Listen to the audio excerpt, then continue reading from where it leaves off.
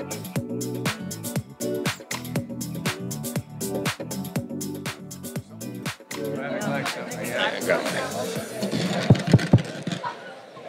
afternoon. And welcome. This is a great turnout. So nice to see you all here. I call the meeting, 2023 uh, annual meeting of the members to order. I'll ask our secretary, Bill Burnett, to talk about notice and establishment of a quorum. Thank you and good evening. We have received, through proper notification of the membership, enough members to make this a quorum, and therefore the meeting is official. Thank you, Dan. Thank you, Bill. Um, At this time, I'd like to hear a motion to approve the minutes of the February 23rd, 2022 meeting. Is a motion by Betsy Gallo. Is there a second? Second by Janet uh, Barry. Are there any changes, corrections, or anything? If you remember that, you, you probably don't belong here, but, uh, okay. All those in favor say aye. Opposed? Motion carries. Uh, Approval of the August 25th, 2022 meet- minutes. If we don't have Terry Barry moving something, it's going to be an unusual meeting. So I'm going to say Terry Barry has moved the approval. Is there a second? A second over here, Jan? uh, Barbara, okay. Um, All those in, any, any questions, any corrections? Okay. All those in favor say aye. Opposed, motion carries. We're going to do a brief um, update on renovations. I'm sure everybody had an easy time finding a parking place today, so as you know, we are well underway. There may be times, uh, especially if you're a little bit OCD, as I am, um, when you look out and you say, why isn't anything happening? Well, you'd be amazed at what is happening. Uh, at this point in time, we are in the early stages of construction, and Tim is going to tell you a little bit about what's going on behind the scenes. You really can't see much of it other than the parking disruption, but there is stuff going on. So, Tim? Thank you. Yeah, there's definitely a lot going on behind the scenes, um, so I wanted to explain that to you. Uh, we closed the bistro and pool a week ago Monday, and since that time, they've been going through the process, what they call cut, cap, and secure, which is basically where they secure all the utilities. So for us, we have a unique challenge in that we still have the restaurant open upstairs, the main kitchen. So when they cut, cap, and make safe, the, the different utilities like propane, water, electric, and those different areas, um, they have to do it in a way that keeps upstairs running. So this was, we knew that this was going to be a challenge, and we're working our way through it. We're still on time and still on budget. I, I can add too about some of the differences. Sure. Yeah. Yeah, one of the things I wanted to mention was, um, you know, we've lived through this before. Uh, for those that were here in 2013 into 2014, uh, we had uh, certainly had our challenges at that time. And it was a great opportunity to learn a lot of what we could improve going forward. So I want to kind of highlight some of those differences in this renovation versus what we experienced in 2013 and 14. Uh, one is the timing of the project. When we went into the last renovation, we didn't have all of our permits secure. We have all of the permitting in place to proceed with the renovation. That is a big difference and one that we keep hearing from our owners, rep, and architects that makes all the difference because other projects that are running behind are having permitting issues. So we don't have that issue this time around. The other is we're working with an owner's rep, uh, Jeff Nunner, and you all have probably seen him at some of the meetings and town halls. We've been working with him now for over two years. So he's been involved in the plans that have been put together. Um, so we have a, a, a better set of eyes earlier on in the project to ensure that things go smoothly, as well as holding the architect and contractors accountable. So from a construction standpoint, different animal than last time, and from an operational standpoint, it's a huge difference.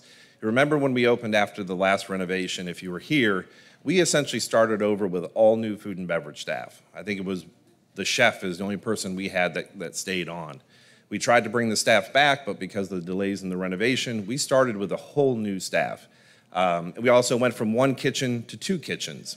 And that was a challenge, as those of you that were here experienced, as, as did I.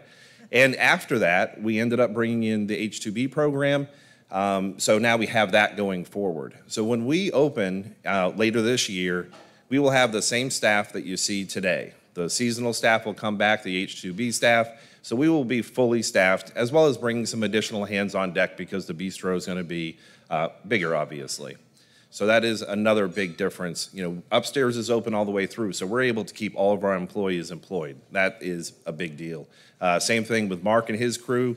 Mark's crew is going to work under the general contractor, so we're not going to lose any of that staff. So it's from an operational standpoint, I, I can tell you, I'm really looking forward to the end of this year when we get this project done because we're going to be in a great position to open up and have you all enjoy the new facilities.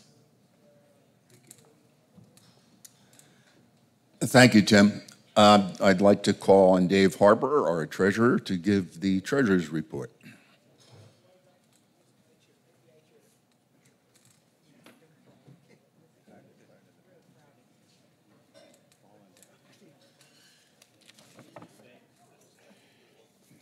Good afternoon. Is it evening? It's still afternoon. Um, Before I get started in my treasurer's report, um, we have two distinguished guests here that um, I want to introduce, and then I would ask uh, Phil to come up. But uh, we have Phil Newman, uh, who is the partner uh, with RSM, um, and he's our engagement partner, and he will be giving our audit report uh, And we also have Kaylee Huber here, who is the audit su- supervisor. Um, So she did a lot of the work for Phil, all of the work. And Phil just nodded. Um, But Phil has been um, our audit partner for, ever, ever since I've been uh, involved with the Finance Committee and is more than 30 years, well, this was last year, so it's more than 31 years now uh, experience in public accounting, as, uh, and he's also, um, we're fortunate that he's our audit partner, but he is also the National Institute uh, Industry Leader for RSM's private club practice. So he knows uh, a lot about private clubs. Um, and he also is a um, frequent speaker at, at regional and national conferences and a regular contributor to industry publications. So you can see his full uh, bio there on the screen. Um, So I will shut up and I will ask uh, Mr. Newman if he would come up and uh, present the the audit report. I- Is everybody able to hear? Is the sound system working okay?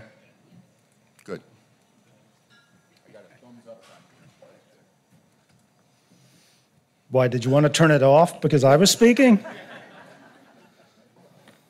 I've been here before. I know, I, know what you guys get up to. So um, it's, a, it's a pleasure to be back here. I was saying to my colleague Kaylee, all my credibility was immediately out, immediately out the window when I see how long ago that uh, a bio picture was taken.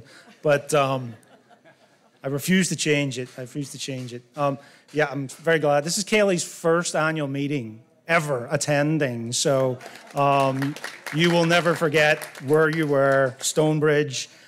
The men's toilet isn't working, uh, but but the project is on budget and on time. So so. Um, uh, but it, it reminded me, Dave, looking up here, how fortunate we all are. You got four ladies on your board, and it just hit me. I, I, we just don't see that that often. So um, so I'm very glad to say that uh, that that's the case here. Thank you. Um, so just just hit some of the highlights with, with regards to the audit report. It's a clean, unmodified opinion. Uh, you have new controller this year. We knew Donna from her previous um, uh, previous club, and uh, Kelly had worked with her, and uh, we're happy that you know we got through the got through the process, and you got your uh, financial statements issued with a clean, unmodified opinion. Um, I know Dave's going to go over um, you know some of uh, some of the highlights of uh, some of the movements on your balance sheet and your income statement. So I'm not going to repeat all of that, but um, I think certainly when we look at your balance sheet, The important thing is the bottom, bottom line. It's the fund balance, the members' equity, whatever you want to call it. And that continues to improve. It went up by almost 15% last year as you guys continue to reinvest in your facility. And obviously, that's what's going on with the amenity. I can tell you that um, if you don't know us, if you haven't heard um, about RSM within Florida, we work with about 200 private clubs. Uh, some of them are structured like yourselves. A lot of them um, are structured like yourselves. We, Kaylee and I are both out of the Naples office here. Um, but I'll tell you that neither COVID, neither inflation, neither a war in Europe has slowed down the reinvestment in club communities in in uh, Florida, and particularly in South Florida. Um, you know, there's still a strong impetus, as you all know. People still want to come here. They still, and especially we both live here, so we went through Ian like a lot of you guys did as well. And, and, and certainly, you know, the demand for quality amenities hasn't backed off anytime soon. And ter- hasn't backed off, and you know, we see no uh, no signs of that either uh, when we're going around our club communities. Um, people are continuing to move forward with uh, with their projects, and um, you know certainly applaud you guys for for doing that uh, that as well. Um, the other thing from the audit report, we had no internal control issues, which is something if I was sitting in your chair, I would very much uh, very much want to know.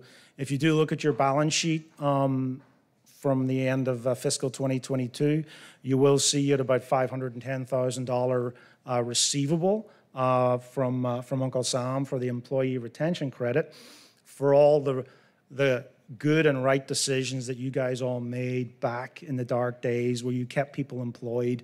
So you were able to get a payroll tax credit and uh, you actually got that money in January, uh, Tim, after the fiscal year end had closed. So that money um, did come in. So that's again very, very positive.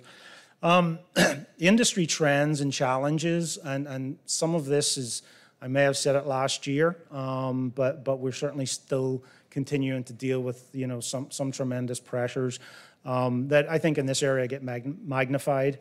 Um, certainly, trying to get people to work in hospitality uh, to come back after COVID continues to be a challenge. It was a big challenge before COVID hit, um, and certainly now our facilities are, are are back and reopening, which is something you can see if you look at your financials. I think the fact that you you drank 37% more than you did the year before is, is it's, it's borderline a problem actually, but, um, but, but we'll, we'll, we'll, we'll give you that. We always like, you know, it's, it's a sign, the food and beverage numbers were tremendous. It's a sign of people wanting to use the club and obviously with all the changes that are going on, um, you know, I'm, sure you're going to want to, you know, use it even, uh, even more. Um, but just don't forget, guys, you know, it's easy. We all are get frustrated easily these days. Um, and I'm sure, you know, you guys have those challenges as well. But with the staff, you know, the impact of Hurricane Ian on the people that work at our clubs probably hit them as much, if not harder, than, than so many people.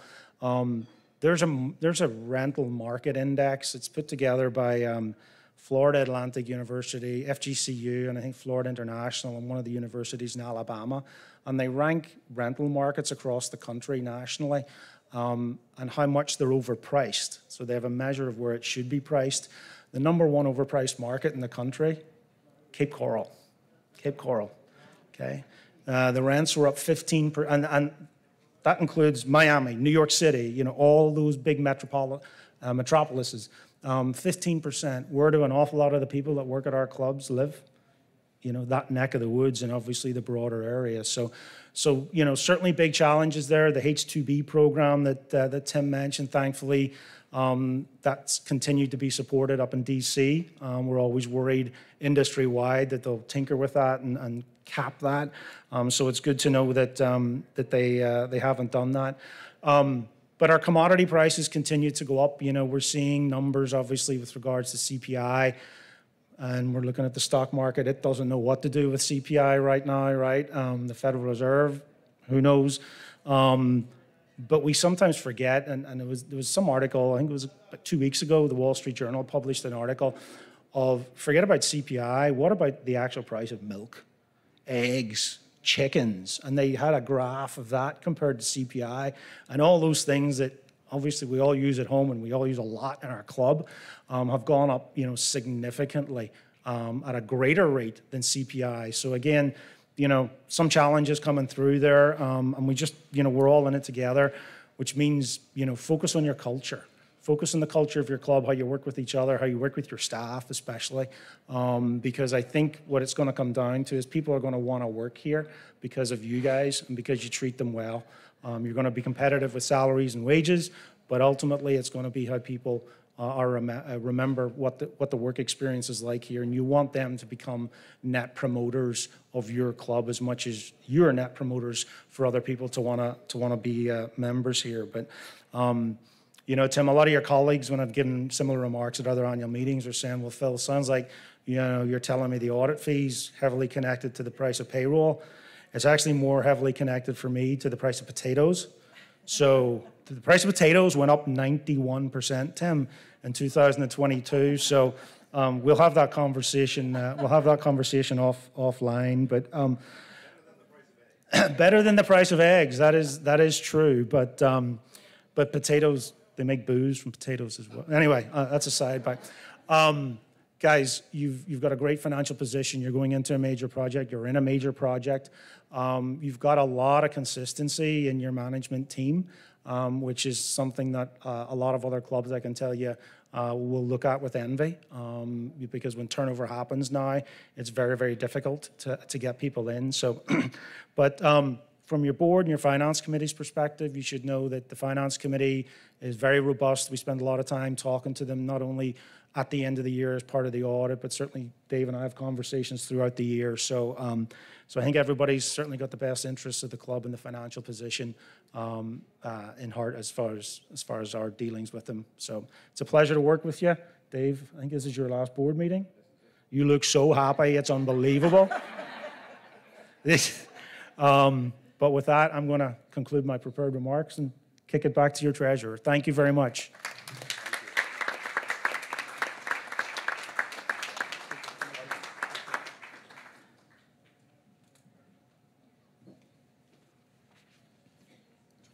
All right, he, he said it all, so that should conclude uh, my part of it, right? Thank you. Um, So for those of you who are in the audience who, um, their, your eyes glaze over when you start looking at numbers and balance sheet and income statement, um, if, if they haven't uh, already started glazing over, then you may want to take a nap for the next 15 minutes. And you, uh, I won't be offended. Uh, But if you snore, I will be offended, so. um, So let's uh, talk about the balance sheet, because Phil just sort of um, uh, put the right emphasis on it, because that is our, uh, that is our main uh, lifeblood, uh, the balance sheet. Uh, If you see up on the slides, uh, I put some of the major components of the balance sheet up there, not the whole thing. Um, But as you can, as you can see, uh, the, the, the change from year to year, uh, 2022 is our last fiscal year. That's what um, uh, RSM just completed their audit on. Uh, The two major things are cash, the liquid assets, both the operating cash and the reserves uh, that we have, total about 5.6 million.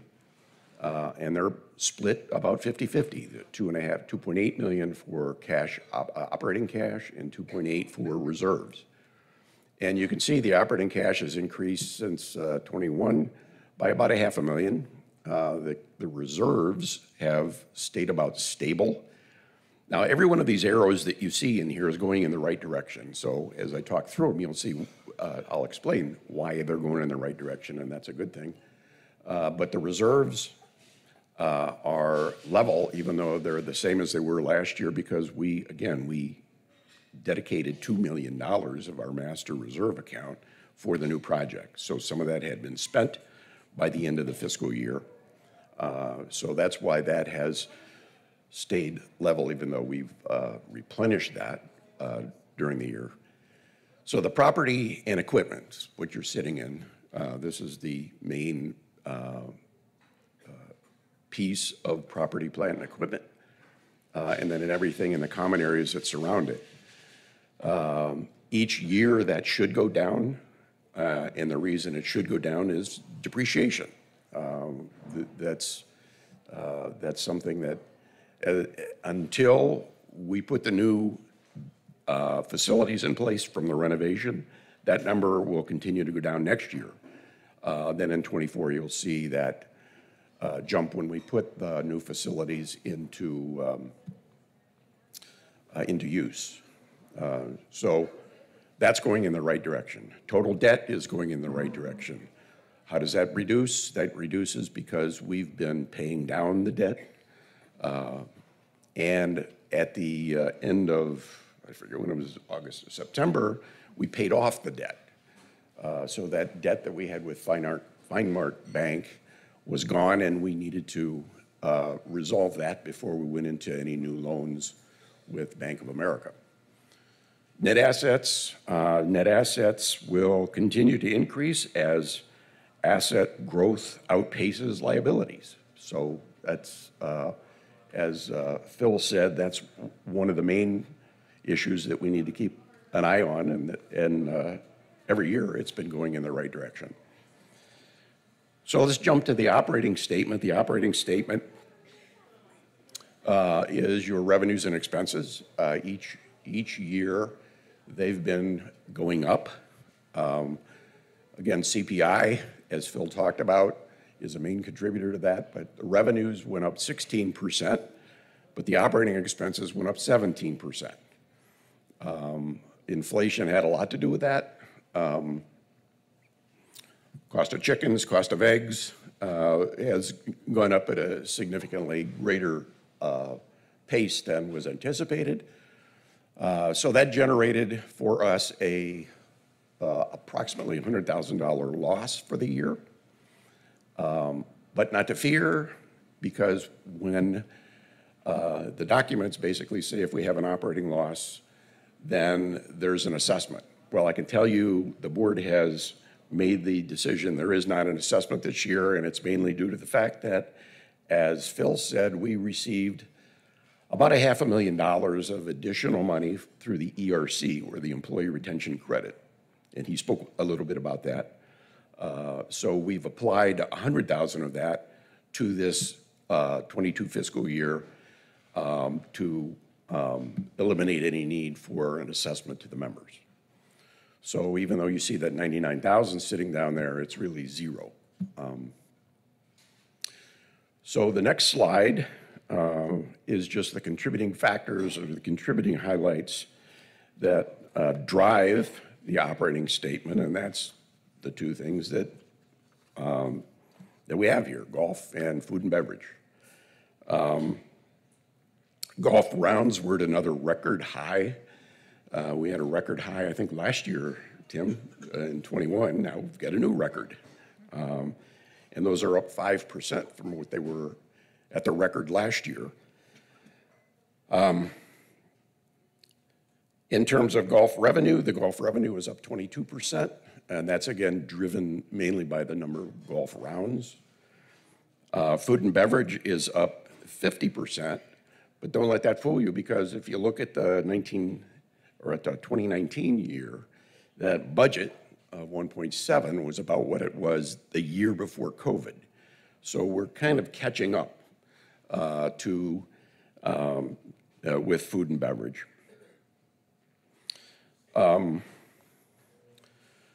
So, next slide, we can't really just talk about the fiscal '22 financials, uh, financial results without talking about the work that's been done uh, and put in place for the financing, the funding of the new uh, future renovations. So the Finance Committee and management have spent a great deal of time uh, putting this financing in place. And just as a recap, I've put it up here on, a, on one slide so you can see uh, this may be repetitive for some, and some maybe have just seen it for the first time, but the project cost, again, that was all voted on and approved by the members, you, uh, $16 million. It includes all of the costs that should be included in their construction, soft costs, equipment, financing costs, and contingencies, all wrapped in one. That's the $16 million of cost of this project. The funding for this comes from three sources. The first is the Master Reserve Fund that we said we sent aside $2 million of that. Uh, The bank financing through the Bank of America includes two loans. Both are 12-year loans, 12-year terms. One has a construction loan, uh, then it converts to a term loan, and it's, again, for a 12-year period at about 4.5%. And the other is a 12-year term loan at about 5%. So the combination of the 2 million reserves and the two loans of 14 million, that's how we get to the financing and the funding for the $16 million of cost. Uh, We did a lot of work with those banks. Uh, We spent a tremendous amount of time with them. I think, Tim, there were 13 or 14 banks we talked to. Um, So between Howard and myself and Tim, um, that consumed a lot of time, but uh, I think we got to the right partner for us in this, uh, in this uh, financing. They've been very uh, good to work with. So in summary, um, Stonebridge operations and our balance sheet are financially strong and stable. The management and the board continues to instill the fiscal discipline to maintain our club's strong and healthy financial position, and we are well-positioned for the future. So with that, I will just say I want to thank and recognize the Finance Committee members for their dedication and hard work. We are fortunate, very fortunate, to have the strong financial talent uh, on our on our club's uh, finance committee. They are awesome. Um, It has uh, been an honor and a privilege to serve uh, at, on the board as your treasurer for the past three years. And it has been a pleasure um, to work closely with Tim and Donna and the other talented management team that we have here. And I will particularly miss working with this very talented board. Um, it- it- The, the, the um, contributions that come from the talent uh, is, is just amazing. But what I won't miss is all the emails. So with that, boom. Thank you.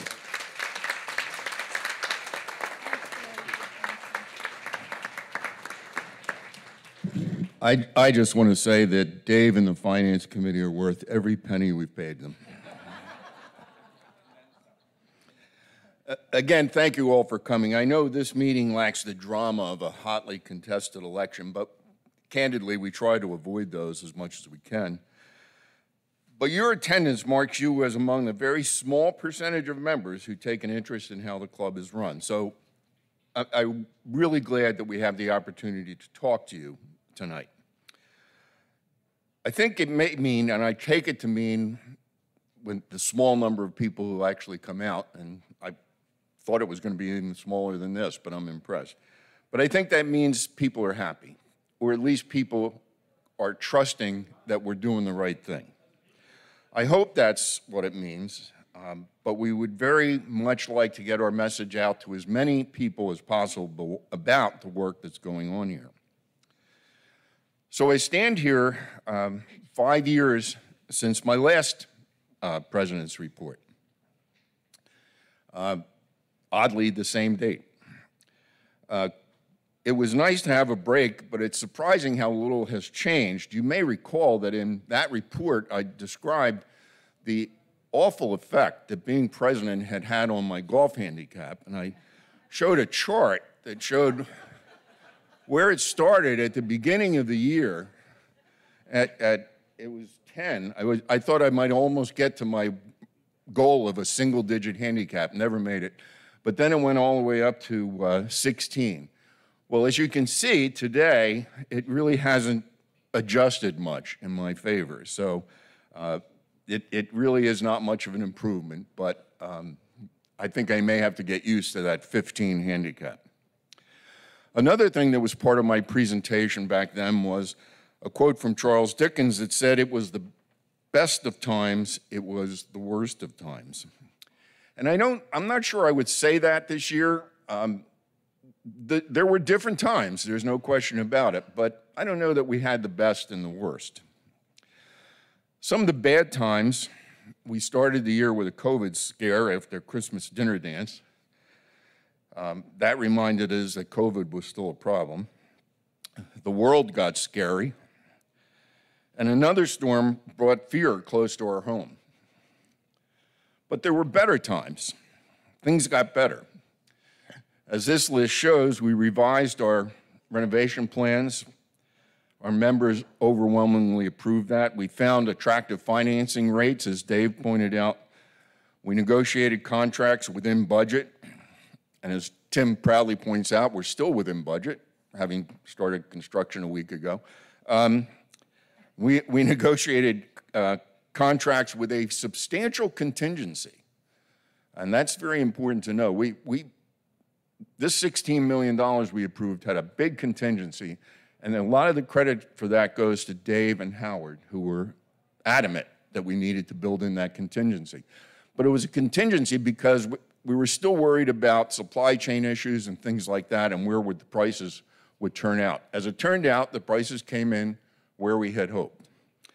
And we kept members informed every step of the way. I think there were even better times.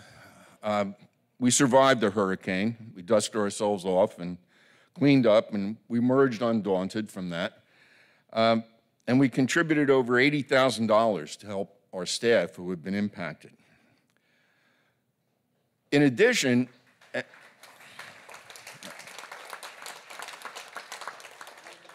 in addition, the work of this board was, was incredible, truly incredible. Um, I think people who have come to board meetings have remarked on how amazed they are at the amount of work that goes on at the committee level uh, when the committee reports are given.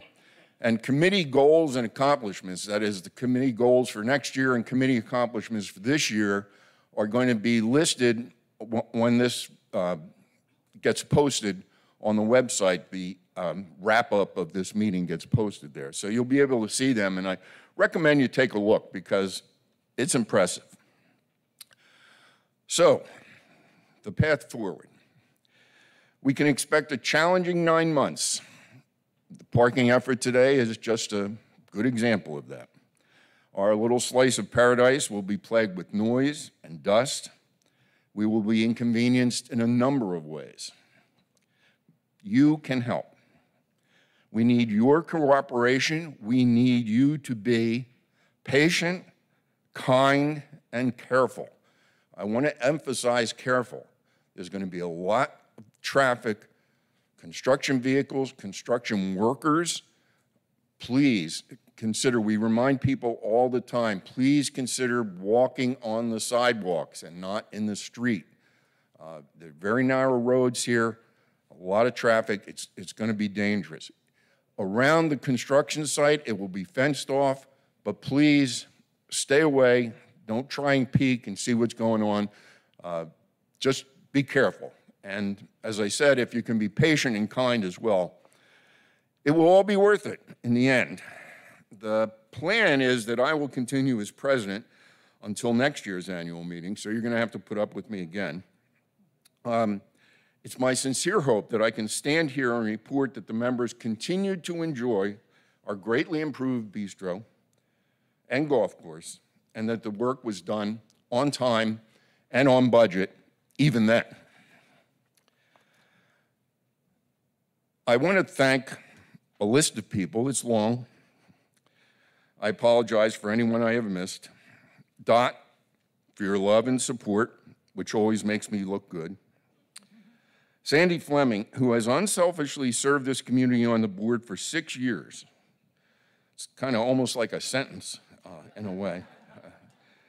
Dave Harper, who guided us through the complex financing we needed for the renovations while protecting our financial help, health.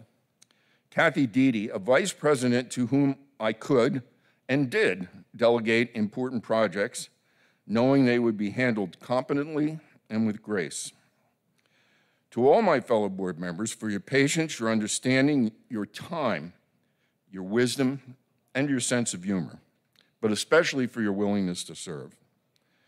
To the many, many Ian heroes, our members and our staff, to all of our staff, especially Tim Jones, who we will celebrate tonight for his 25 years in, at Stonebridge. That's pretty much a life sentence.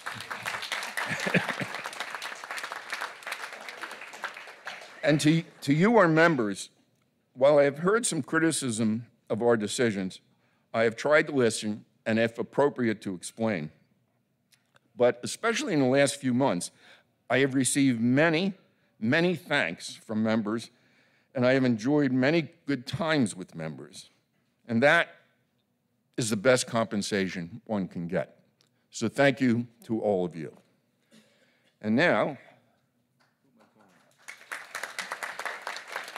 now I'd like to call on Kathy Taylor for the Tom Brooks Outstanding Volunteer Award.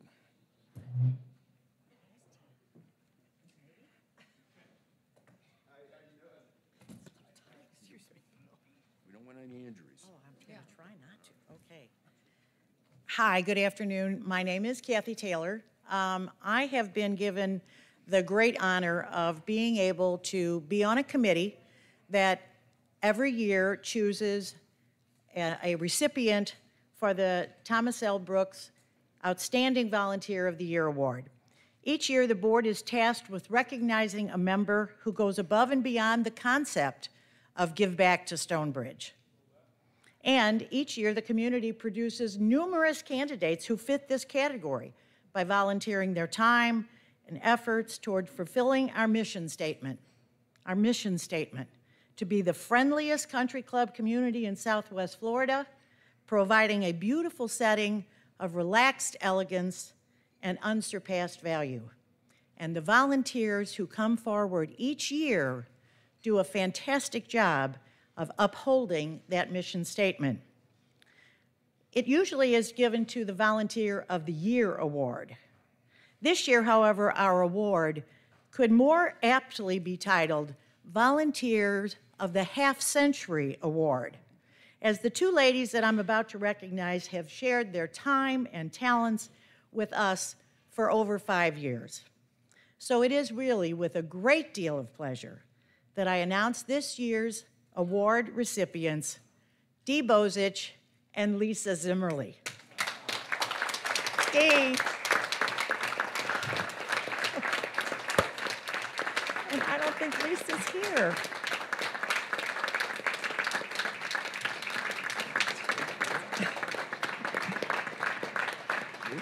And I don't think Lisa's here. I tried, I tried so hard to get Lisa here, but I don't see her. Oh, okay. Oh, well, we'll, I'll, we'll give her a copy of this, okay? No, I'm not finished yet. Oh, no. Wait, S- sorry. I need, sit a minute, Dee, sit. It's only another half hour. That's don't right. I mean, you know, to the, the priest at our church said always make it brief, so I'm going to make it brief. But I have to tell you what these two ladies have done. Dee and Lisa have been the creative and concept designers behind the Halloween party, the fashion show, and the art show for the past five plus years. Lisa has compiled a warehouse or garage full of Halloween decoration that she shares with all of us each year. And each year, her passion and creativity are amazing. Whether it's creating an eerie haunted house, homemade jail cells, or a pirate ship, her desire to create an authentic Halloween environment are enjoyed by the many of us who love Halloween. Dee brings her talent as a theatrical producer to create a fashion show that is one of the largest attended events each year. The amount of work she puts into this affair is mind boggling. I got to witness it firsthand this year when I was involved. Totally amazing. She creates the theme, she writes a script, she works with the models and actors, and coordinates with management to each year turn this dining room into a venue that delights and entertains 200 plus ladies. Whether it's having Mrs. Doubtfire and Tootsie come for a visit, a day at Downton Abbey with Mr. Carson and Mrs. Patmore, or a magical trip to a secret garden where this year Stonebridge's newest baby gnome, little Jackson Wilson, our Amy's little guy, made a cameo appearance. So Lisa each year um, excuse me, each year, Dee becomes our own Cecil B. DeMille. And with Lisa's creative abilities, the sets and the costumes that she produces are every bit as professional as local theater productions. Then there's the annual art show. With Dee's organization and skills in production and Lisa's creative expertise, they have created an art show to effectively showcase the many talents of our Stonebridge members. And as further testament to their skills, talents, and passion for Stonebridge, they always rally the best of the best to be on their committees who play an integral part in carrying out their concepts. Their passion is infectious, and all those that participate in these productions are urged on by their spirit of dedication. So, ladies and gentlemen, please help me thank these two wonderful ladies for all they have done in the past, and we hope will continue to do in the future for Stonebridge. Dee, and I'm sorry Lisa's not feeling well, please come forward. Please come forward.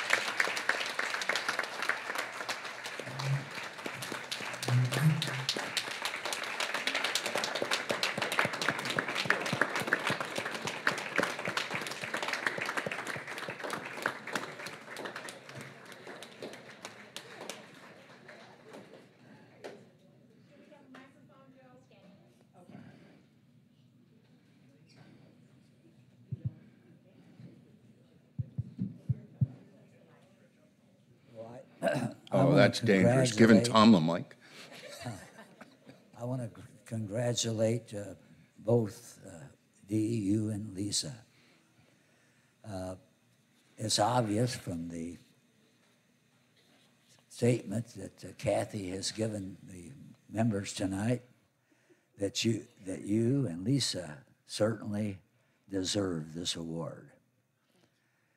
And on behalf of all the members of Stonebridge Country Club, we want to thank you for all the hard work that you gave and for the contribution you made, which is help in our community to be the great place that it is.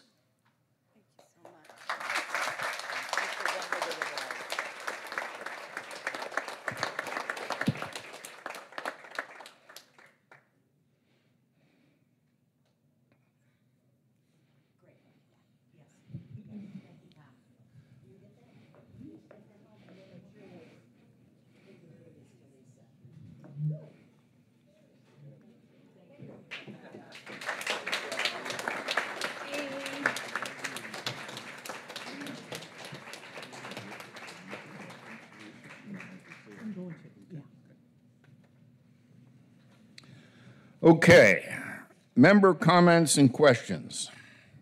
Do we have a microphone? Mary has the microphone. Do any members have any comments or questions? Sue? Wait, wait, wait.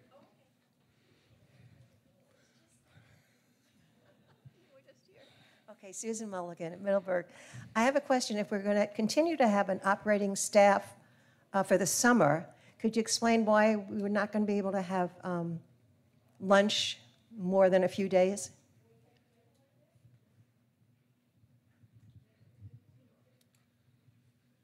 Sure. The um, much of the lunch business is driven by golf, so we're going to keep lunch open through the end of season, through the end of April, um, while the course is closed April third. But going into May and the slower months of the summer, uh, again, much much of the lunch business is driven by golf. So. Um, what we decided to do was shift our focus to the evenings where people come in regardless of the activities going on at the club. So instead of being open three nights a week, we'll be open four nights a week throughout the summer. Anyone else? Way in the back, I can't even see who it is. John Lees from Littleton. Uh, this is my fourth season. About three years ago, my wife Kathy and I love it here. I have a comment and a question. My comment is, I love to pull balls from the water in the pond, but I do it at four thirty when I'm walking with my wife. The only comment I have is that if you're gonna fish for balls, just see, look behind you. If there's people waiting in the fairway, grab yours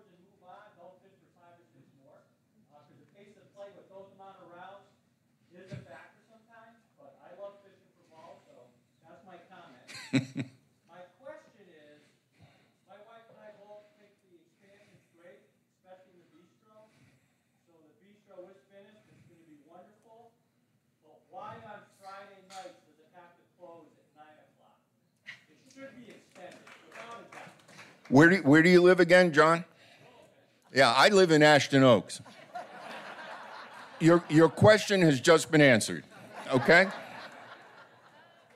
Okay. Mm-hmm. We're putting all this money into the bistro, it's only twenty-two nights a year. No offense, six point five percent of our ownership is Ashton Oaks, Yeah. percent of the nights. Okay. Well, John, you have your answer, okay? That's the answer. Any other questions or comments? Way in the back. Please give them a microphone, no matter how loud they think they are.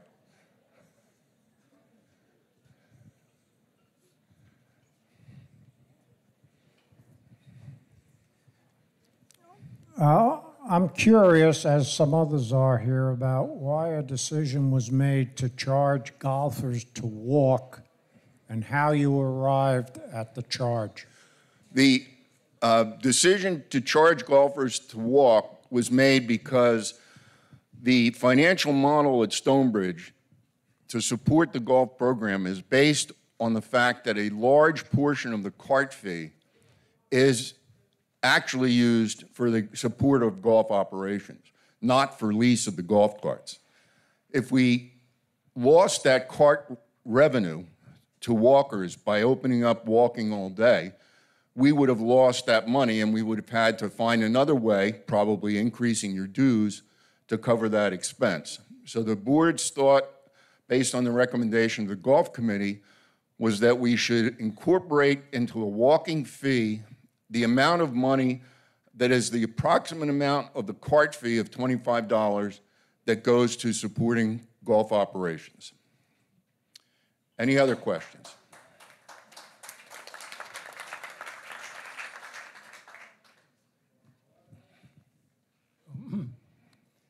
Yes, hi, Steve Fogarty from Manchester Court. Um, First, I'd like to uh, thank and congratulate the board for all the hard work over the last year and a half as relates to the uh, revisions. I did have a question on the health club, uh, which is a key part of our, our community and our lifestyle. And I, I certainly recognize the economics that had us move past the, uh, the renovation in total of the health club. But the reality is, much of that equipment in the health club is probably older than some of us users who use it. And uh, there's one there's one treadmill there that's uh, or one um, elliptical there that uh, everyone seems to use, and uh, it's over 15 years old. And it literally, if it breaks, because I have one at home, if it breaks, you're not going to be able to get replacement parts for it.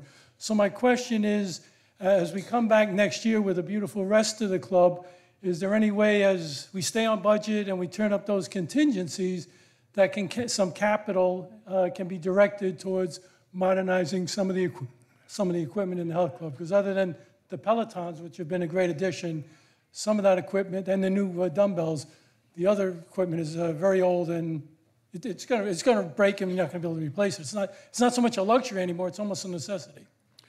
Pe- People are going to think you're a shill that I planted you in the audience.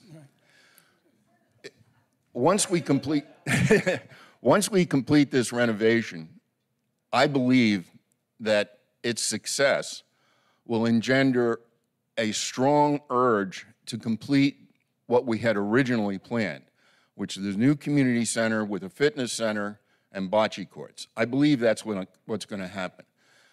I say that knowing that I will not be on the board at that time. But I will also tell you that in order to accomplish that in the most economical way, we need to change our master declaration, which does not allow us to make assessments of members for that kind of project. We've tried to do this a number of times. Unfortunately, the master declaration can only be changed by a two-third vote of all the members, not of those voting, of all the members.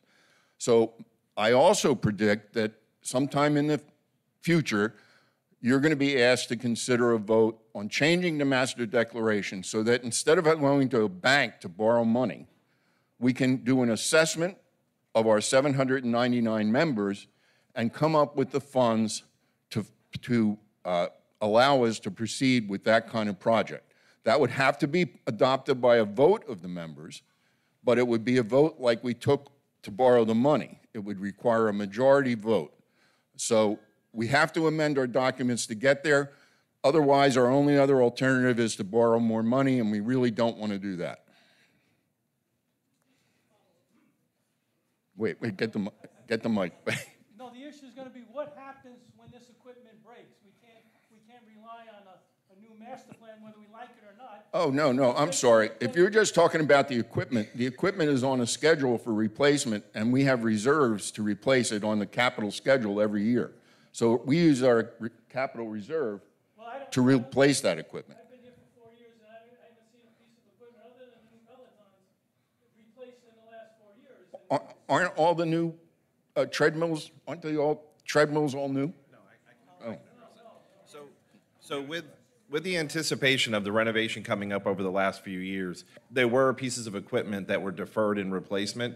Uh, the treadmills are a good example. Versus buying new treadmills, we had actually purchased off-lease treadmills, used treadmills, to get us through that window of time in anticipation that we were going to have a new community center, a new fitness center. Now that that is not happening, we have a, a plan, which I'm actually working on with Jeff, to have uh, new equipment, not all new equipment, but the pieces that are due for replacement, replaced this fall. See, that's why we keep him around. Any other questions or comments? Seeing none, thank you. I consider that a- another expression of of happiness.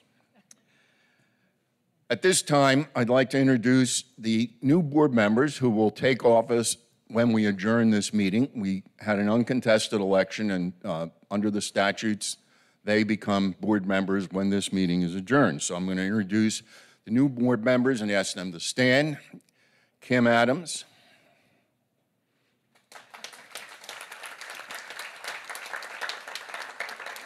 Carol Henry.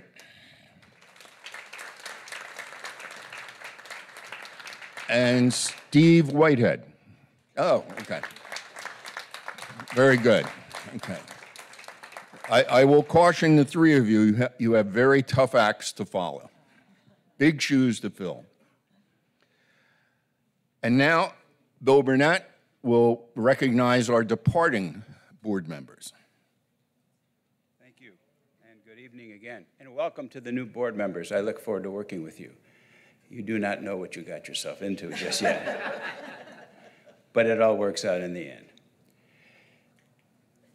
Dan mentioned a moment ago some of the attributes of the three people who I'm going to spend a little time recognizing. And it comes with a bittersweet approach. Uh, This is my first year on the board. I had the opportunity to work with three unbelievably dedicated, unbelievably talented, and committed board members. So it is my privilege as the secretary of the board to recognize these folks. There are five things that are the base core values oops, of uh, Stonebridge respect, reputation, responsibility, excellence, and communication. And on a day to day basis, much of this year, quite literally, I saw these board members exemplify that.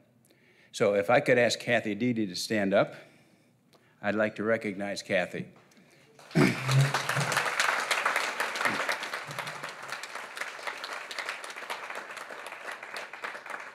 In Kathy's duration on the board, she has been responsible for communication, I'm sorry, tennis and fitness as the chair. This year, she had legal and governance, a pretty tricky issue at times. She handled it wonderfully. She had grievance. Who would want to do that? she did it wonderfully. And then in her spare time, she took on the new member mission of creating an ad hoc committee that welcomed so many of our new members that I think has been uh, an excellent way of introducing Stonebridge to people who haven't been here before. Kathy, it is again bittersweet to thank you on behalf of the board, and I think I speak for the membership also to thank you for the contributions you've made to us. You'll be greatly lost, and that's a personal comment from me to you. Thank you. And, and please accept this token of all of our appreciation for the work that you've done. Thank you very much. Does Sandy Fleming stand up? Sandy, as uh, Dan mentioned, has done this twice. Why would you do that, Sandy? I was asked. She was asked. But her energy, her enthusiasm, her knowledge has been a wonderful asset for all of us and me personally. I had a chance to work with Sandy on the Communication and IT com- Committee, and she is uh, an excellent person to work with, completely dedicated, high energy, and poor thing has had her back problem for a while, and she never stops moving. This year, she had the responsibility of ensuring that the Golf and Greens Committee was ready for the renovation. No small task whatsoever. She has been on, the, on no less than six committees in her tenure on the board here at Stonebridge, which is, a, which is uh, beyond, well beyond the call of duty. And this year, she also had the responsibility for community standards. Sandy, you have been a wonderful person to work with. I have enjoyed learning from you. We wish you the best and come do this again someday. San, Sandy Fleming, please pass it. Pass it down. And last but not least, Uncle Dave, the baritone in the group. Um, I didn't really know Dave, quite frankly, uh, only by reputation but I had the distinct pleasure of working with him throughout this process for the last year. Dave has headed the uh, Finance Committee for some time. He never got me involved, which was a great thing because my background is in sales and I had nothing, wanted nothing to do with finance. But he did an incredible job. I don't think you really realize what a wonderful job he and the rest of the Finance Committee did to put this financial package together for us so we could enjoy what we started a week ago. Dave also was on the Strategic Planning Committee, Facilities Committee in his tenure here, and again, you will be sorely lost. I had a chance to play golf the other day, and I know his golf is going to improve from, from this point onward. Dave, on behalf of the members of Stonebridge and the members of the board, thank you so much for your contributions. We certainly appreciate it.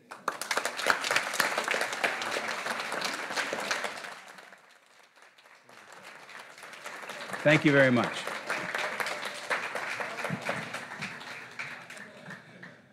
And now we come to the opportunity to recognize all of our 25 year employees.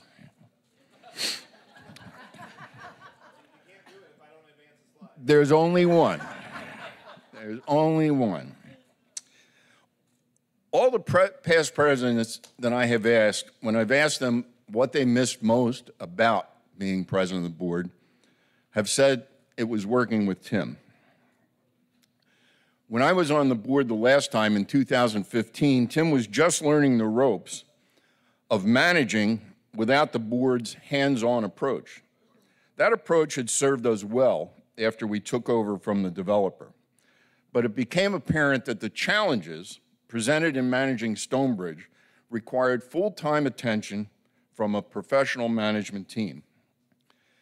We were lucky to have in place the right man for the job in Tim Jones.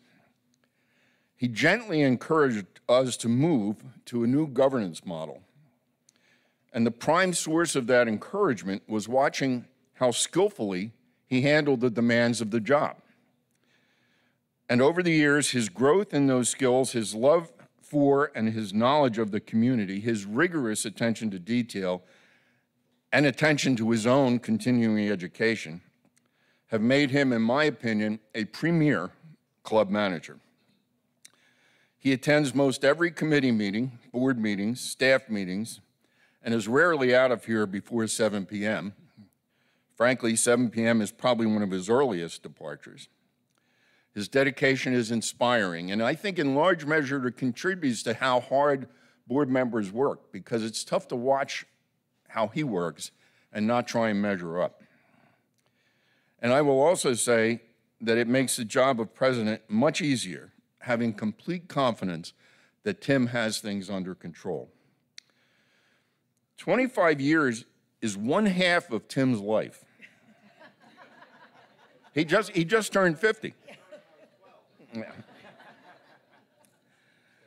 He's given those years to Stonebridge, and I am very grateful, and I hope you all share in that gratitude and we'll congratulate Tim on his 25th anniversary at Stonebridge.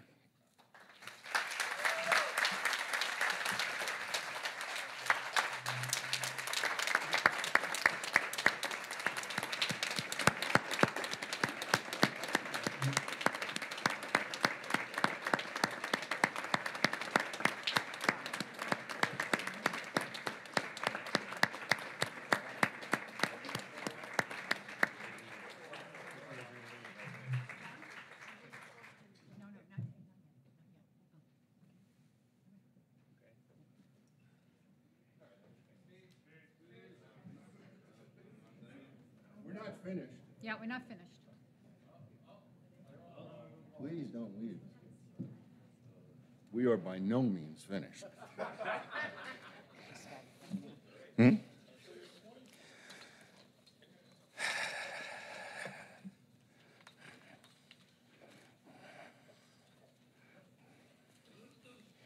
I don't know what I do with it. Let me see. I've got so many notes. This is such a challenge here. So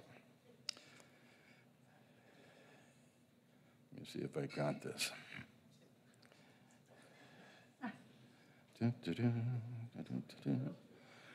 Anybody have anywhere to be?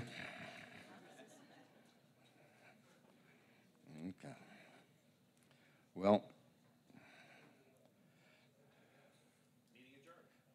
No, no, no. You know what I don't have, Mary?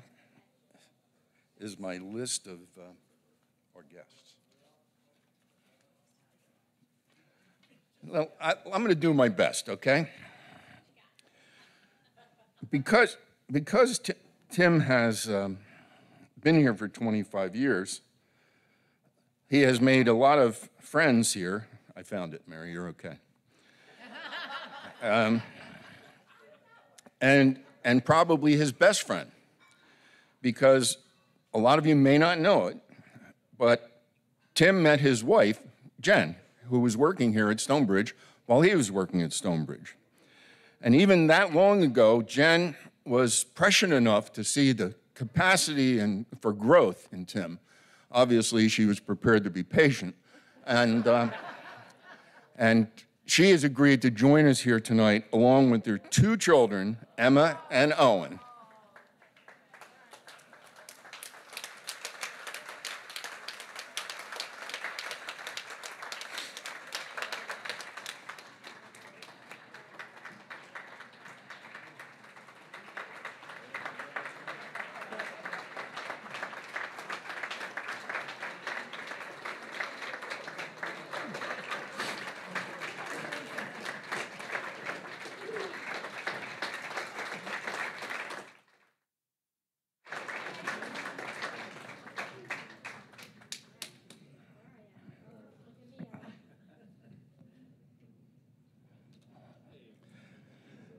Another, um, another longtime friend, and our more senior members may remember her, but she wanted to be here tonight, Francine Cavasano.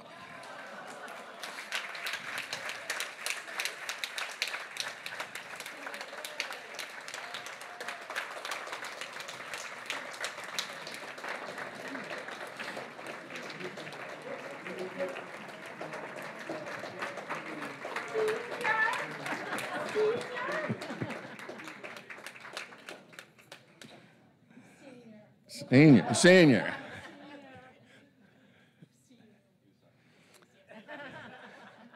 You don't have to be as senior to remember our uh, membership and communications manager, Katie Fordon.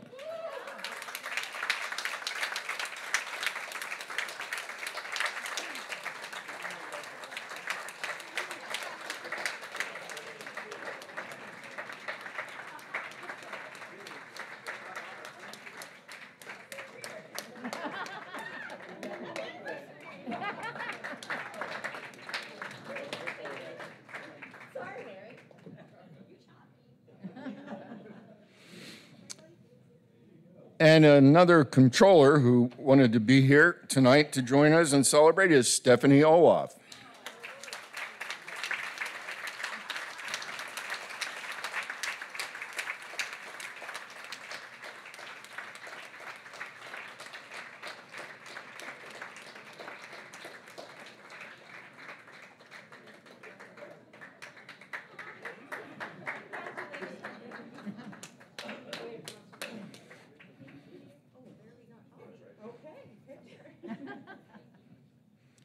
And another numbers cruncher from the past, Pamela Samansky.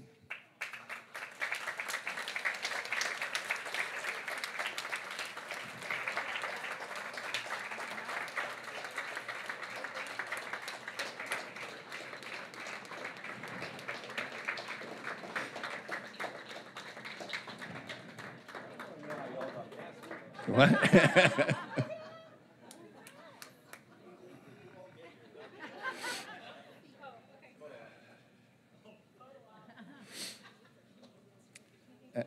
And finally, returning is our uh, former food and beverage director, Indra Mulyana.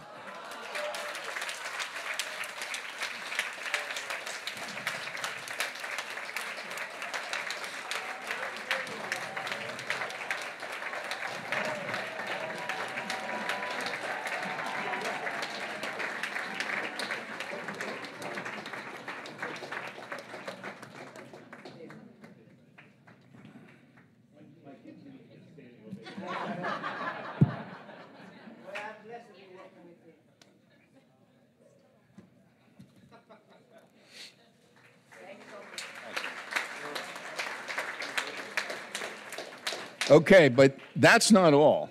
Kathy Deedy is here to tell you what's coming next. So hold on to your seats. All right. Here I am.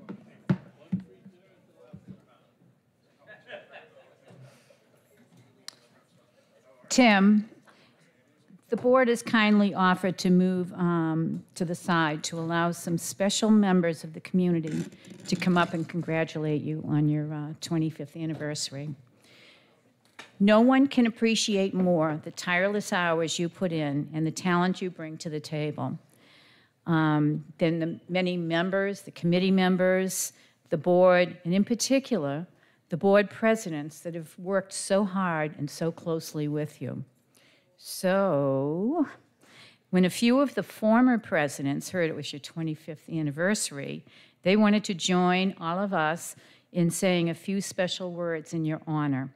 So, Giff Brown, come on up. Bob Henry, come on up.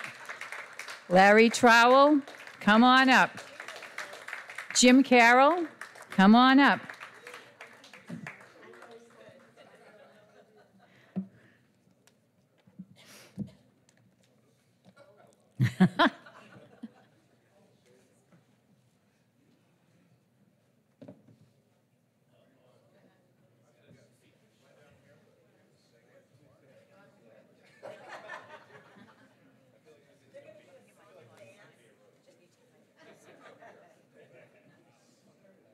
Okay, we'll start. I think we have Giff here. I think we'll start with Giff Brown, um, President of Stonebridge Board of Directors, 2016. Giff? He needs the mic. This is what we practiced, right? Yes, okay. Good evening, everybody.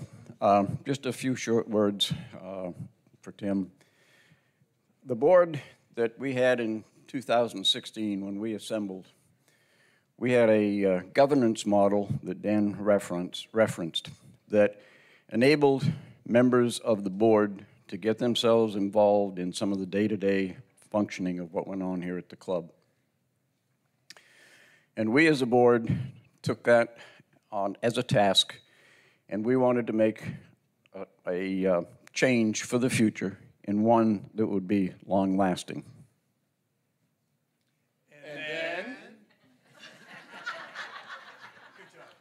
They'll, they'll get it down. They'll get it down in a minute. In quite simple terms, and this is some of this stuff is kind of boring, but in this particular case, the board is responsible for governing and giving direction to the management in terms of where we're trying to go in the future.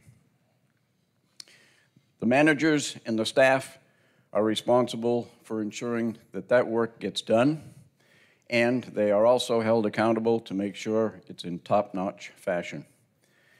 Now, the thing about these first two, and you've heard some things tonight, uh, but with these two groups, the boards, the committees, the staff, countless hours, things that go on behind the scenes that it, people who've never seen it can't really appreciate all that it takes to make this place work. The neat thing about this last one is that we, as members, without spending much of any time of our own, we get the luxury of enjoying everything that Stonebridge has to offer. And then?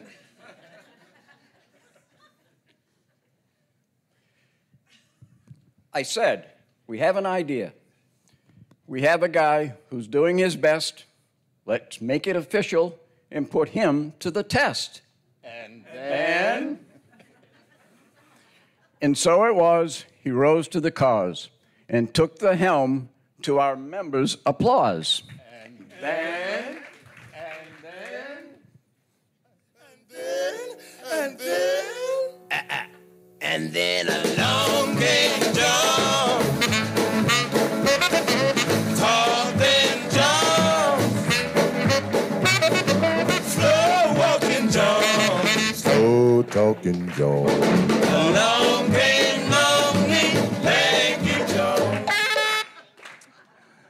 Thank you, Giff. In 2017, I became president. One of the most significant events of that year, and as I learn every year that I'm president, was a hurricane. But I've decided to do my presentation more along the lines of a Hamilton kind of presentation. We were sitting in New Jersey when we heard them say, the storm is coming, could be any day.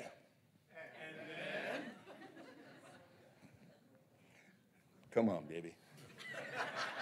Naples Bay was empty, a scary sight. We turned down the interstates to join the fight. Our community was hurting. It looked a fright. What could we do to make it right? And, then, and then, And then, and then, and then along came John. Tall than John. Slow walking John. Slow talking John. Along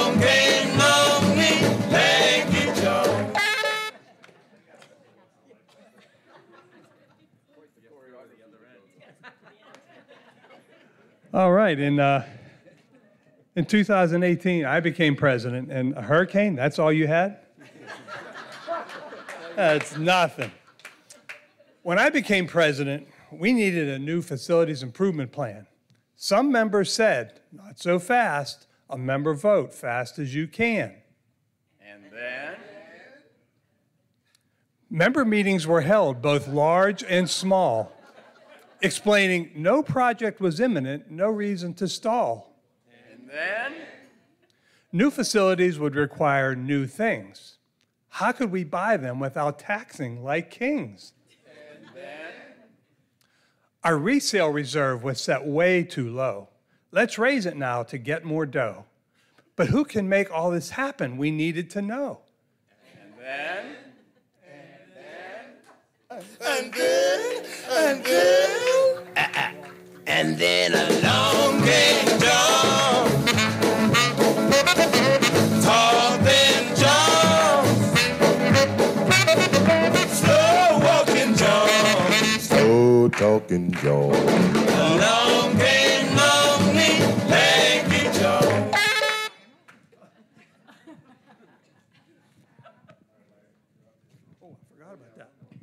Whoops, sorry about that. Um, Carolyn can't be here, she's out of town. But we didn't want to forget Carolyn. In 2019, she became president. And she had one tremendous accomplishment. The prices came down, the reserves were available. Finish half the parking lot now, the rest will be scalable. And then, and then, And then, and then, and then and then along came John, John, slow walking John, slow talking John. Along came John. When I became board president in February of 2020, the sun was shining on Stonebridge. We just celebrated Stonebridge's 25th anniversary, and we were surveying our members about their vision for future facilities improvements. We were on top of our game. And then, just two weeks, two weeks into our board year, Tim called me about something called COVID 19.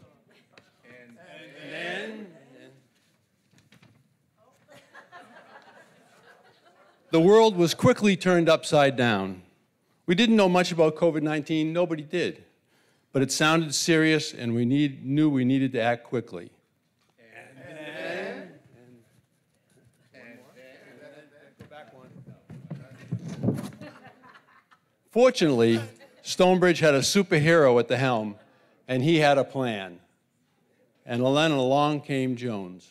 And then, and then along came John. Talking John.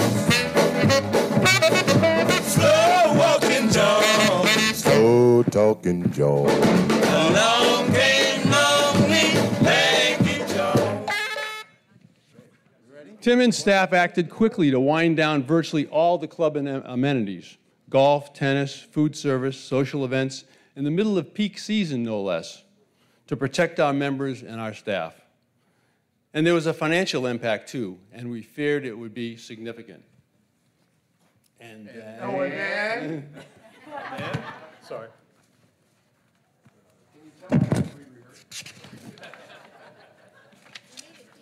Back one, back one, back one. Tim proceeded to construct what felt like a bubble around Stonebridge. It was an imaginary bubble, much like an imaginary friend. But that bubble helped us feel safe from the craziness outside the gate. World, please don't pop our bubble, we pleaded. And then. Tim's steady, and I might point out, well washed hands led the Stonebridge team as we closely followed CDC guidelines clean, clean, and clean again. And because the COVID tests were difficult to find, some members tried less traditional COVID testing. By all reports, members seemed, members seemed to prefer this home, home COVID test over the more traditional protocol, which involves sticking a sharp stick up your nose. and then. And then?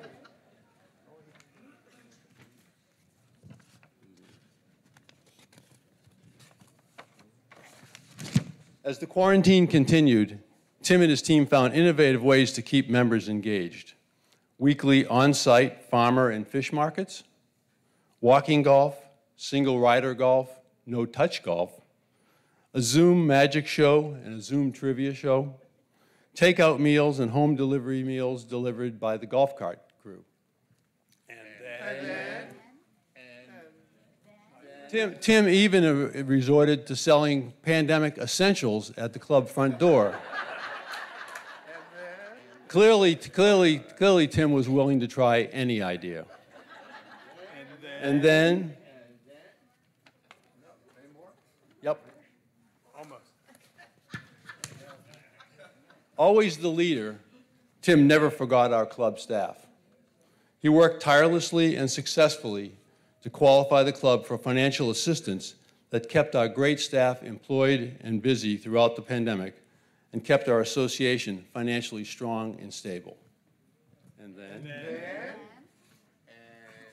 and as the, as the pandemic continued, members looked forward to two, to, to two highlights of each day of quarantine.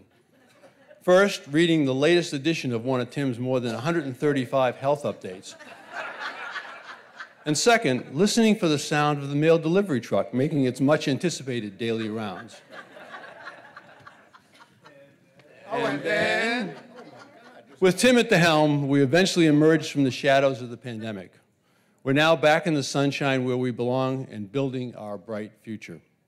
So thank you, Tim, for guiding us through this unprecedented time and back into the sunshine. And then, and then, And then, and then, and then along came John.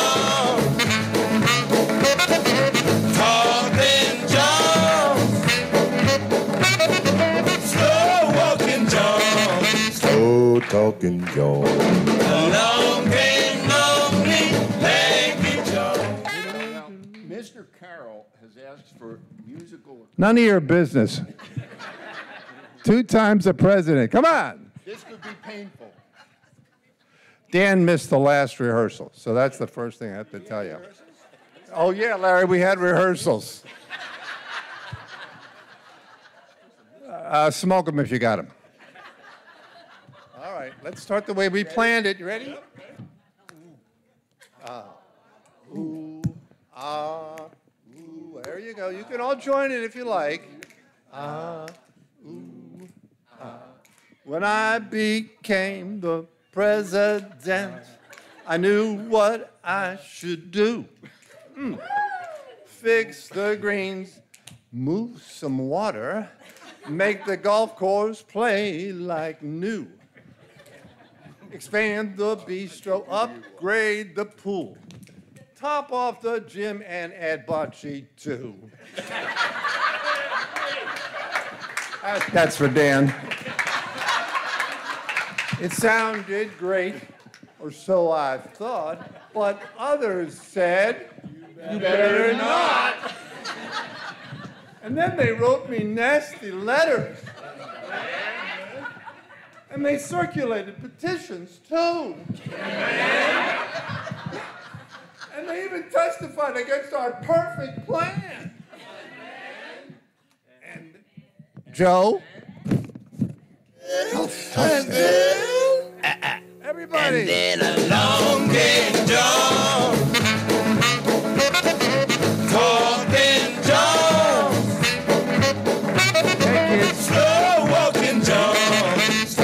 Talking Joe. Along came lonely Lanky Jones. Along came long, cool Timothy Jones.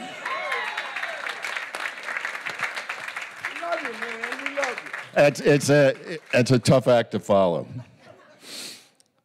So Jim Carroll said, Dan, here you go. We've got the plan. We've got the dough. We did, and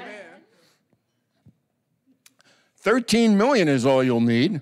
Now get this done and go with speed. We're sorry, sir, the builder said. You'll need 9 million more instead. The world has changed in many ways. Big changes aren't as cheap these days. And then? Without a new plan to present instead, I thought these projects were stone cold dead. Sure, we're offering less for more. They'll understand. They've been to the store. No problem, Mr. President, our GM said. Here's a plan to present instead. Sure, we're offering less for more. They'll understand. They've been to the store. And then, and then, And then, and then, and then along came Joe. Talking Joe. Slow walking Joe. Slow Talking Joe. Along came lonely Lanky Joe. We're, we're here every night. So, so you- you would think after being here 25 years, you all would know I don't like to be the center of attention. So, thank you. We're not finished, although, although I, I'm not sure exactly where we are on the uh, agenda, if you will. I think it's Joe, isn't it?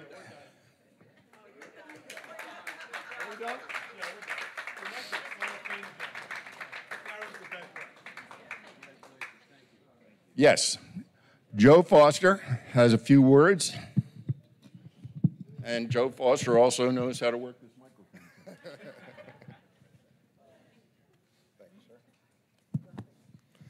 Wow, great turnout. How can I follow that? That was, that was fantastic. That was fun too, putting that together. Mrs. Didi, thank you.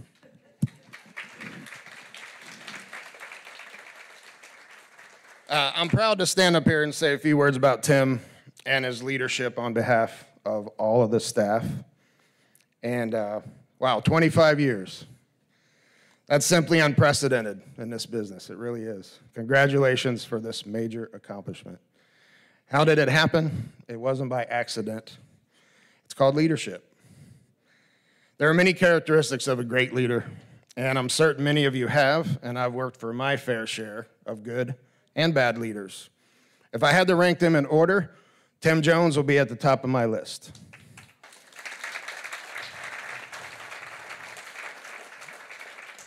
As a high level leader, there are many sayings that come to mind. It's lonely at the top. Heavy is the head that wears the crown. And my personal favorite when you are the leader, everything is your fault. but really, what that means is that you're responsible for everything, but you often get grief and rarely get the praise that you deserve for your many responsibilities. Ironically, that is one of the biggest attributes of a great leader the fact that they do not need to have constant praise and they can handle the criticism. It comes with a very strong EQ or emotional intelligence. Here are 10 characteristics of Tim Jones that just happen to be 10 characteristics, characteristics of great leaders. Uh, number one is integrity. Integrity is an essential leadership trait for the individual and the organization. It is especially important for top level executives who are charting the organization's course and making countless other significant decisions. Integrity is simply doing the right thing, even when no one is looking. Tim has integrity running through his veins. And then, number two is delegation.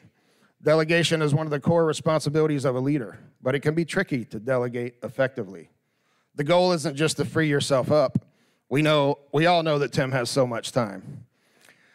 It's also to enable your direct reports to grow, facilitate teamwork, provide autonomy, and lead to better decision making. As a direct report, I can say that Tim delegates very well, in a very good way.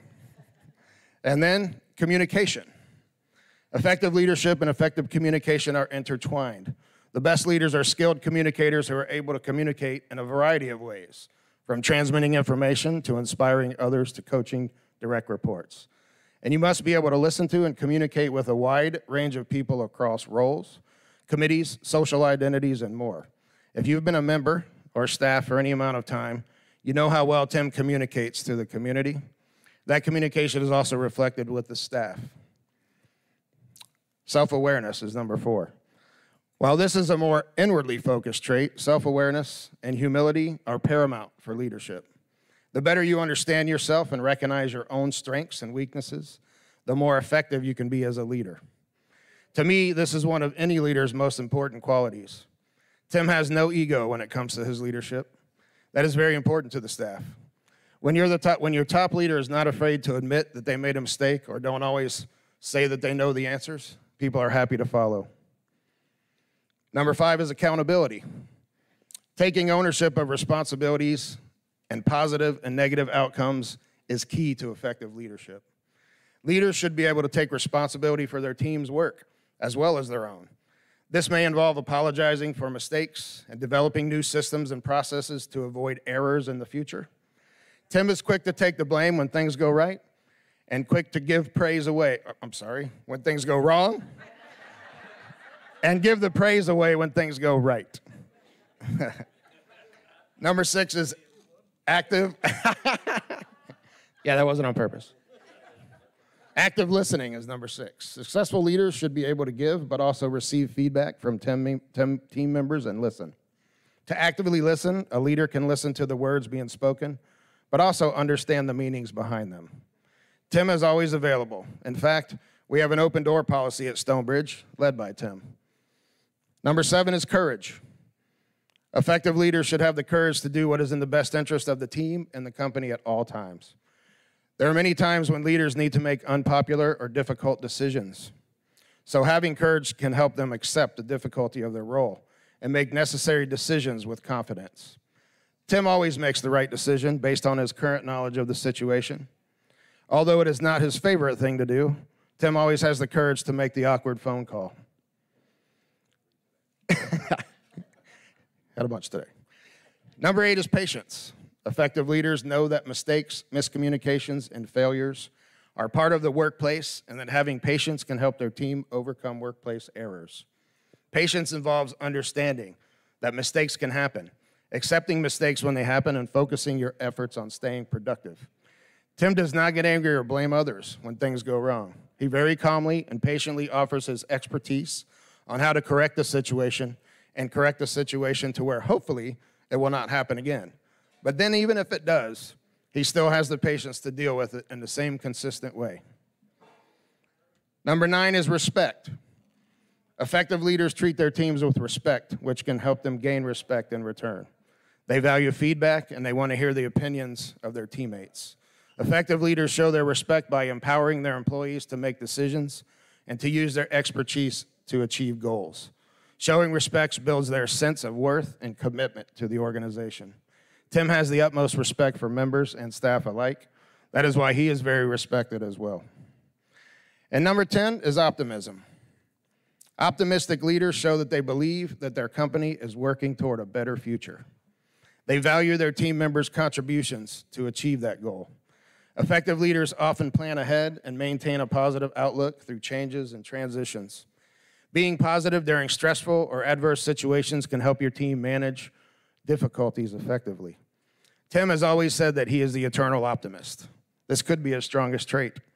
He pushes forward through every issue without the semblance of worry or doubt. He may have it inside him, but he does not show it. The roller coaster nature of the current renovations could not explain this optimism any better. You hear the word culture a lot in business. We've heard it today. We all know the definition. Most companies and organizations fail to achieve the culture that they're trying to find. Stonebridge not only has the best governance of any club that I've worked for, it also has an amazing company culture for the staff, one that is enviable to other clubs. That is not by mistake. There are many people involved to create this type of culture in an organization, but one thing is always true the leader at the top sets the example for all. Tim, I would like to personally express my appreciation, admiration, friendship, camaraderie, collaboration, and the real pleasure that it's been working as your right hand for over a year now. I hope for many more years to come. So even though heavy is the head that wears the crown, you wear it well. On behalf of the staff, we would like to present you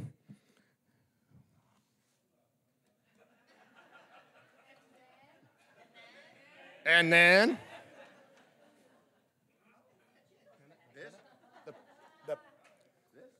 the pennant.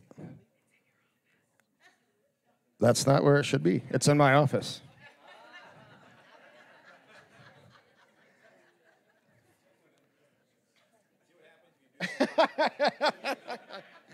I will, I will say, Tim, this was very difficult to put this together for. This guy's ominous. Everywhere you go, Tim's around the corner. And he knows we're talking about him, you know? anyway, we have a pennant to present, but we also have a staff video. Uh, we have a small video of what it means, what the staff, what Tim means to the staff. Uh, after the video, Mr. Graziano has one small order of business to adjourn the meeting. And then we hope that you'll join us in the bar for a cocktail hour and some appetizers. Uh, so, can we cue the video, guys over at Harmon's?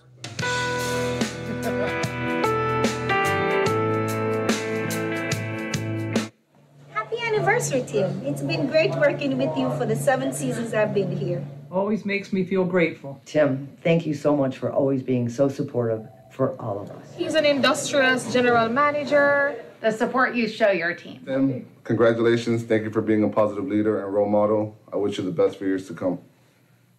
Hello, Stonebridge, and uh, greetings from uh, Gadsden, Alabama. This is Ben Outwell, your uh, past clubhouse manager. Miss you all. Hope you're well.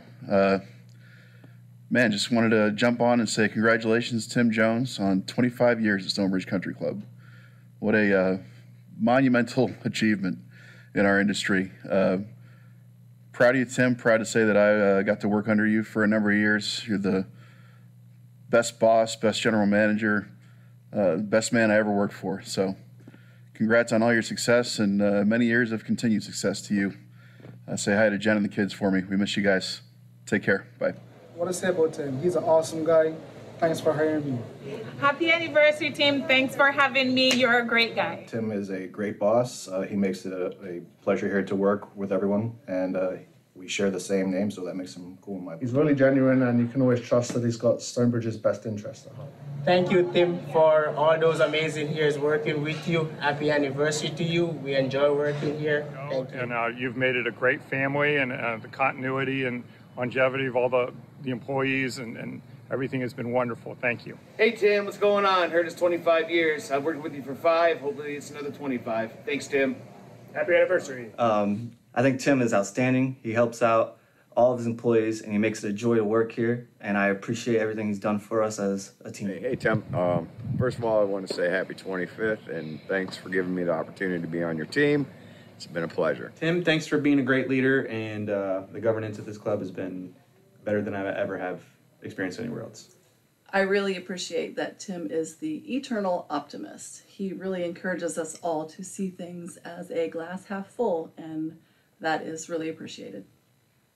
No one bleeds Stonebridge blood like Tim Jones. He exemplifies 212. Tim is very friendly. Treats us all like family. What can I say about Tim Jones? He's very welcoming and kind. His supportive leadership. The kindness and compassion that Tim shows to the entire team, it doesn't go unnoticed. And we're grateful to have him. Congratulations, Tim, and happy 25th. Thank, Thank you, Tim. Okay. So this is the staff's presentation.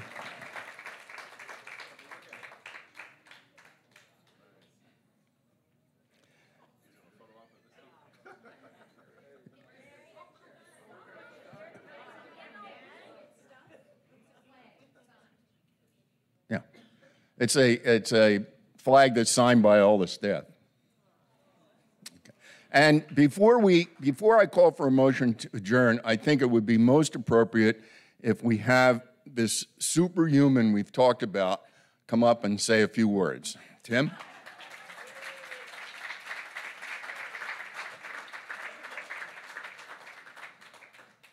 I don't know what to say after all that, honestly. Uh, it should it should rhyme, and it should flow with an and then. But I'm I'm I'm drawing a blank. No, I mean I just have to thank everybody, the staff, everybody. I mean, I've been here for 25 reason 25 years for a reason. So thank you.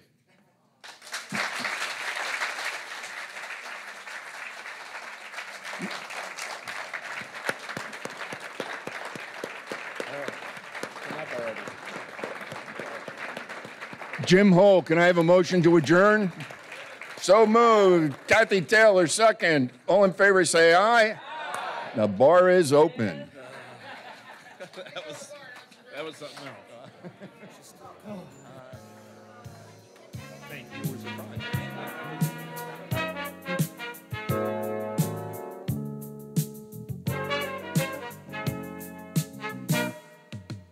I guess you wonder where